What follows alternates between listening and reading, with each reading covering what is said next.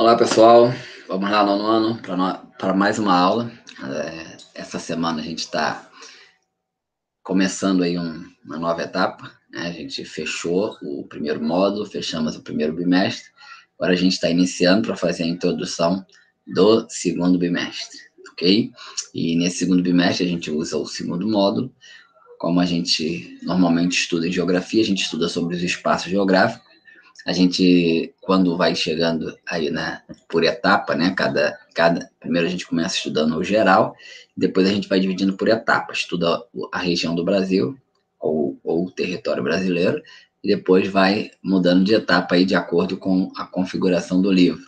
Né, e, e, nessas etapas aí do, no nono ano, a gente estuda é, algumas partes é, do cenário mundial, né, alguns territórios aí que estão no globo inteiro e pegamos várias partes que cada hora um trecho, cada hora ou um continente ou uma, um, um grupo de países. E no caso desse próximo próximo módulo a gente vai estar estudando sobre a Ásia, né, que é um continente importante no mundo, um, é o maior continente em relação a território, tem algum, vários destaques aí para ele que a gente vai estar vendo é, além de, de, tamanho, além de, de, da população, tem algumas características do seu relevo também que chamam atenção, além de alguns contrastes, algumas é, características é, de sua população, que acaba se destacando no mundo. Então, é um continente interessante para a gente estudar e ter aí bons resultados, ok? Então, vamos lá para a nossa etapa. A gente vai estar, tá, vou estar tá, é, compartilhando aqui questão do módulo 2, a gente vai dar início, depois eu vou falar as páginas que a gente vai estar tá lendo. É, pega o seu livro para você acompanhar, marcar o que for necessário e passar para o caderno, é porque a gente vai ter as questões de toda semana, como a gente sempre passa aí alguma questão como exercício de fixação, aí você vai anotar o que for necessário, ok? Então vamos lá, vou compartilhar aqui a tela, abre seu livro aí no módulo 2 e vamos iniciar.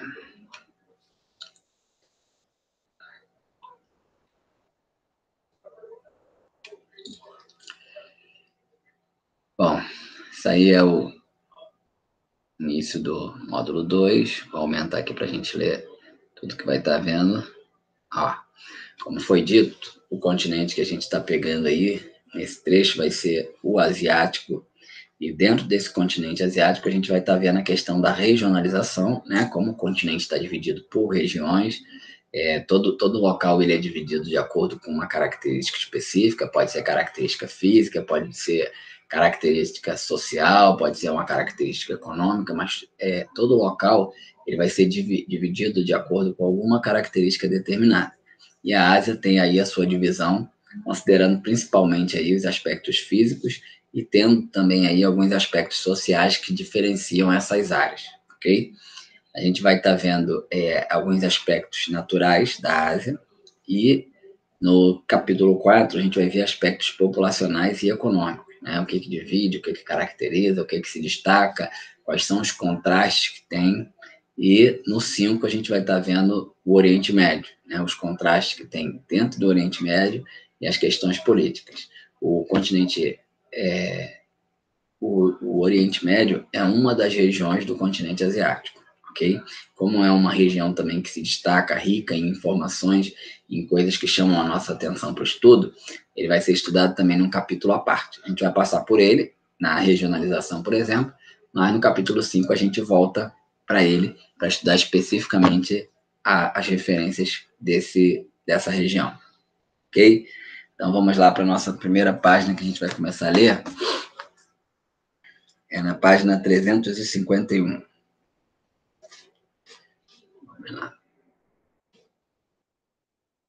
Vamos, cadê a página que não passa?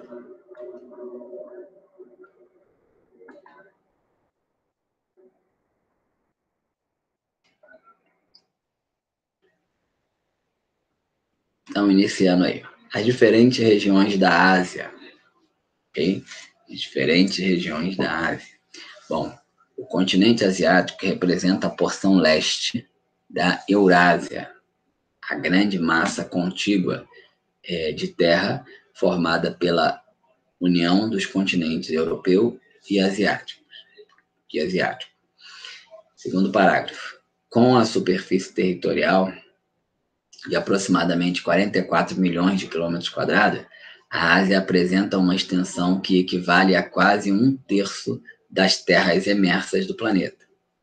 Em virtude de sua extensão territorial, a Ásia apresenta grande variedade de ambientes e países com características culturais e socioeconômicas distintas. Para facilitar a compreensão é, dos principais aspectos desse continente, vamos estudá-lo dividindo em cinco regiões, apresentadas no mapa a seguir. Então, uma das coisas que citou aqui, né, o, a Eurásia, né, é, essa, é, existe uma massa de terra, normalmente um continente, ele é formado por uma grande massa de terra que está circundado pelos oceanos. Isso é o que caracteriza um continente. Porém, a gente tem um destaque é, diferenciado aí né, em relação a tanto a Europa quanto a, a Ásia, porque existe uma grande massa de terra circundada por oceanos e mares, e essa, essa massa de terra foi dividida em dois continentes, a Europa e a Ásia. Né? Toda essa massa de terra é chamada de Eurásia, mas a gente é, tem como estudo aí essas duas regiões como dois continentes separados. Né? Isso é aceito porque existe uma diferença característica ali, é, dividindo ali o, o, fisicamente essas duas porções, e se convencionou assim, hoje é o mais usado, como se cada porção aí fosse um continente. É isso que está falando no primeiro parágrafo. E o, segundo parágrafo está falando, mesmo com essa divisão, essa parte onde é chamada de Ásia, né, com aproximadamente 44 milhões de quilômetros quadrados, ela forma aí, né, praticamente um terço de toda a Terra que está imersa no planeta. Né? Tudo aquilo que a gente conhece como terra firme, né? tirando a porção dos oceanos, é, um, dos, um terço forma aí o continente asiático. Lembrando que a gente não tem só um continente, tem vários continentes, e significa que ele ocupa uma porção relativa. Se a gente tivesse três, seria dividido em partes iguais mas a gente não tem três. A gente tem cinco aí que são habitados e a gente tem a Antártida, que é um continente também, porém não é habitado de forma permanente. Mas só para a gente ter uma ideia de que a gente tem vários continentes e essa porção é muito relevante, ok? E aí a gente vai ver aí como foi dividido, já que é o continente asiático, ele quanto maior e quanto mais extenso é um território, a tendência de ter maior diversidade, maior diferença é, só vai aumentando. Né? A, a possibilidade de ter maior diferença só vai aumentando. Então, quanto mais você estende, primeiro, quando você estende um determinado local, pensa numa terra que é extensa, principalmente se for em relação a norte e sul, na direção, nas direções norte e sul, você vai ter diferença porque os raios solares batem de forma diferente, né? E, e, isso faz com que uma área seja mais aquecida, a outra área seja mais fria, uma outra mais temperada. Então, isso já muda muitas, muitas, é, muitos dos aspectos da paisagem do lugar, como o tipo de vegetação, se vai ter umidade ou se não vai, né, se é fácil de habitar ou não. Um lugar, quando é extremamente gelado, existe dificuldade de habitação. Um local como é, quando é extremamente é, é, quente e com pouca umidade, também é difícil de habitação. Então, tudo isso vai influenciando, influencia na paisagem natural e influencia nas questões sociais, de tipo de povo.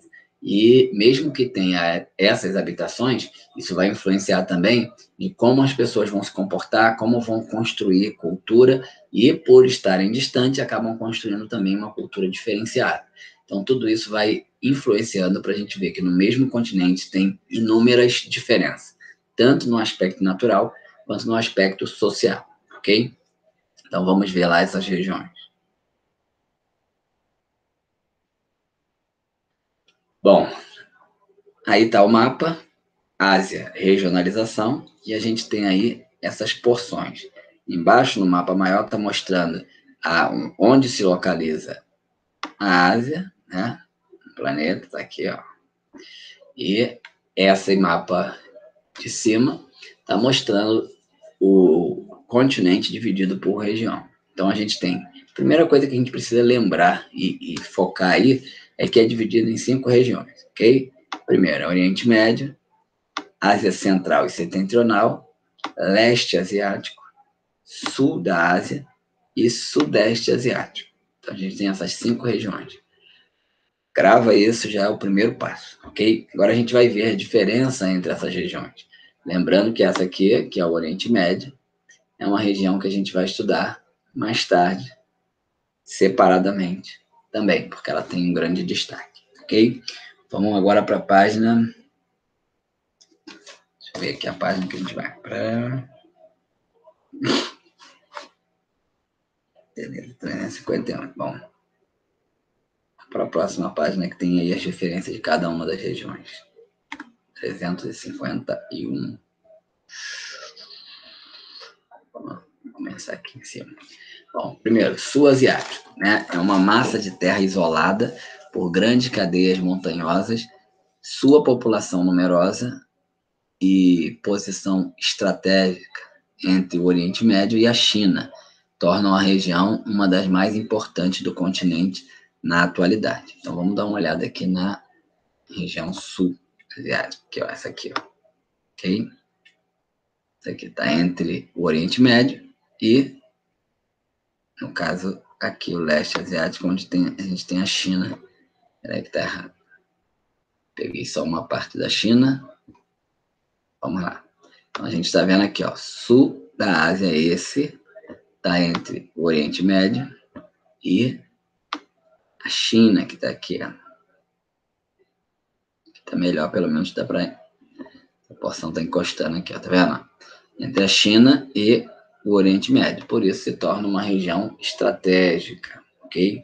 Já que a China é um dos maiores países do mundo em, na relação comercial, e o Oriente Médio aí tem seu destaque, até porque o Oriente Médio é a porção da Ásia que vai fazer ter aqui o acesso ao mar Mediterrâneo, que vai ter, ter contato com a Europa, a África e uma facilidade para o Oceano Atlântico. Então, estratégico. Sudeste Asiático engloba a Península Indochina, ou Indochinesa, né?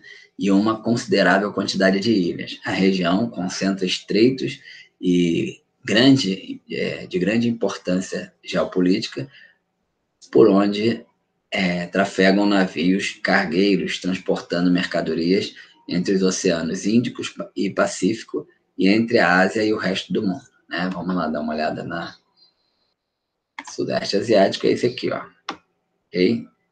Onde compõe aí a Indonésia, demais países aqui. Aqui é o, a Península Indochina é falada lá no texto, ok? E tem esses espaços aqui que são os estreitos que eles falam, né? Entre uma massa de terra e outra. Então, também de grande importância. Próximo é o leste da Ásia, né, que engloba a China, país com maior extensão territorial do continente, como Mongólia, e península é, da Coreia e o arquipélago do Japão. Do ponto de vista geopolítico, a região é, desperta interesse pela ascensão da China pelo crescimento de, su de sua influência sobre todo o continente, além de apreensão além de apreensão gerada pela situação instável entre a Coreia do Sul e a do Norte. Então, esses países aqui, ó, China, Coreia do Sul e Japão. Península da Coreia pega as duas Coreias, tanto do Sul quanto do Norte, mas a Coreia do Sul é a que tem destaque aí econômico, a China e o Japão, que são países que se destacam. Vamos dar uma olhada onde é o leste da Ásia, no, próximo, no mapa anterior. Aqui, ó. Leste da Ásia é esse verde. A gente tem aqui nessa porção a China. A gente tem aqui... Opa, apagar aqui. A gente tem a China, né? A China vai até maior lá. Eu peguei só uma parte aqui, mas só para a gente marcar. China, a gente tem aqui o Japão. Não, aqui é Taiwan. Japão. E a gente tem aqui Coreia, que é a Península da Coreia, onde ela se divide Coreia do Norte e Coreia do Sul. Ok? Essas regiões são as que têm uma dinâmica econômica boa e que se destaca aí no continente, ok? E a última porção que vai falar lá é a Ásia Central e Setentrional, Né? Essa região aqui é onde pega a Rússia, essa porção aqui é a Rússia. O maior país do mundo é a Rússia, né? E um país que já foi aí, compôs aí, fez parte da União Soviética, né? Que liderou a União Soviética, a antiga União Soviética. Vamos ler aqui sobre essa porção que é a América Central e Setentrional. Engloba uma extensa porção de terra, sentido leste-oeste, e a região possui é, passou por mudanças significativas ao longo do século XX, desde a Revolução Russa em 1917 e a formação da União das Repúblicas Socialistas Soviéticas, que é a União Soviética, em 1924. Sua dissolução em 1991 resultou na emergência de cinco repúblicas independentes. Opa, resultou na emergência de cinco repúblicas independentes entre as quais se destaca a Rússia, tanto, tanto territorial quanto politicamente. Né? A gente tem a Rússia aí como destaque dessa porção da Ásia Central e Setentrional, ok? Que a Rússia era o principal país aí da antiga União Soviética, ok? E ela tem destaque aí tanto territorial quanto politicamente. Ela é um destaque lá na, nesse continente. E a gente tem aqui, por fim, o Oriente Médio, que se destaca pela importância das três religiões, né? judaísmo, cristianismo e islamismo, ou seja, essa região do Oriente Médio foi lá que nasceram essas três religiões. Então é chamado que é o berço das três maiores religiões monoteístas do mundo. Por isso se destaca. É lá onde está a cidade de Jerusalém, que é a cidade importante para essas três religiões ok? Principal destaque é esse. O outro destaque que a gente vai dar aqui, vou ler no final do texto. Assim como é, é pelas amplas reservas de petróleo e gás natural. Esse é um outro, né? Rica em petróleo. E a região está em grande complexidade do ponto de vista geopolítico, sendo palco de conflitos e atividades de organizações extremistas. O outro destaque é essa organização, né, é o palco de várias atividades e vários conflitos gerados pela atividade extremistas, ok? É, de organizações extremistas, principalmente a questão religiosa. Né? É um local com muitos conflitos, é um local que tem é, é pobríssimo em umidade, né? tem pouca água, pouca facilidade para produção. Então, é um lugar seco, lugar árido, lugar que tem muito deserto.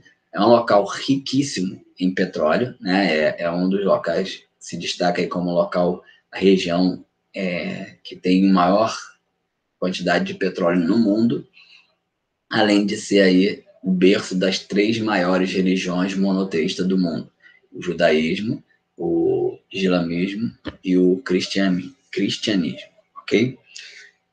E aqui a gente um outro fator aqui, a gente vai para a página 353, para ver um fator físico que destaca aí a região asiática. Okay?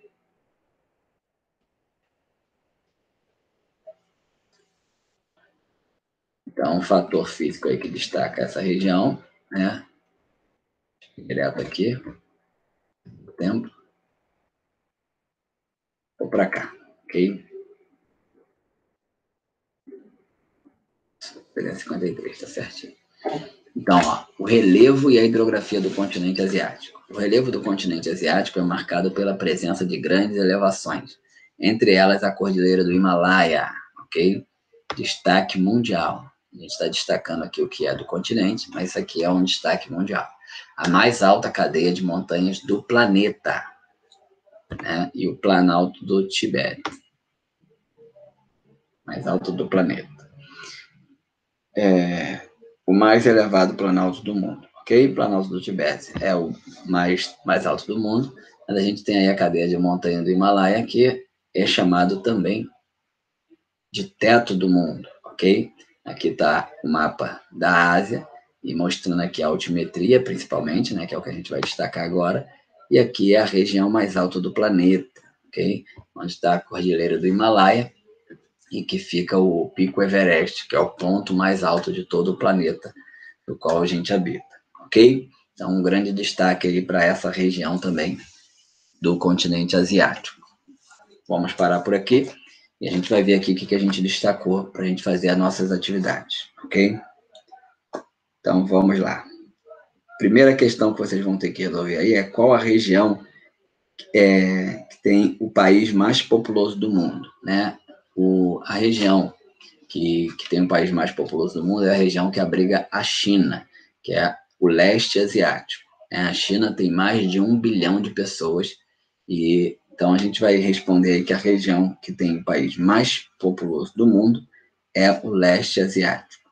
E a segunda questão é qual a região que tem uma grande importância para as três maiores religiões monoteístas do mundo, que é rica em petróleo e que tem vários conflitos geopolíticos. Né? Essa região, como eu falei, que se destaca aí, e que a gente vai estudar ela mais tarde separadamente, é o Oriente Médio, ok?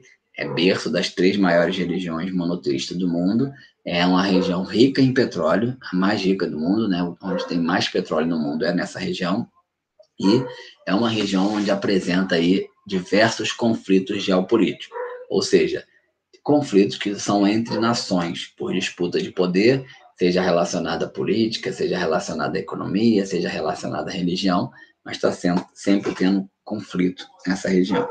E a terceira coisa é, considerando é, o aspecto físico da Ásia, qual o fator de maior destaque no continente?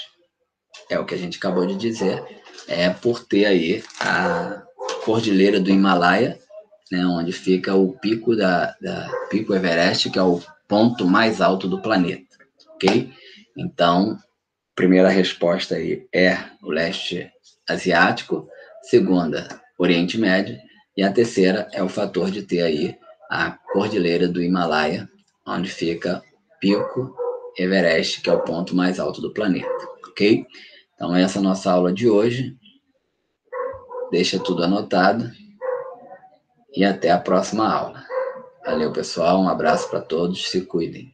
Valeu, até a próxima.